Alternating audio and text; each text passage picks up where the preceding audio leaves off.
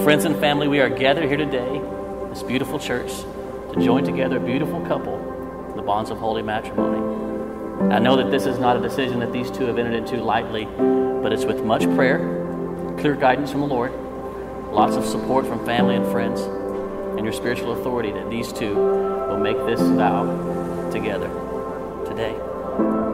See, the Bible says that marriage is to be held in honor, that it's to be esteemed and respected. And our regard for the bonds of matrimony, it rests entirely in the person of God Almighty, the Father Himself, because God ordained it. He created marriage.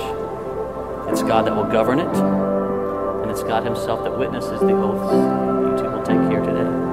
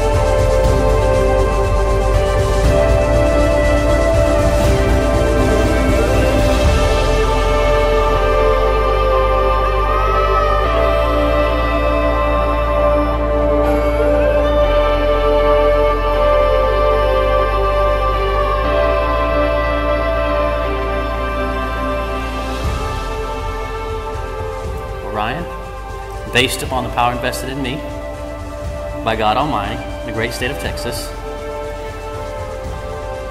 It's my privilege to pronounce you husband and wife. Brother, you may kiss your bride.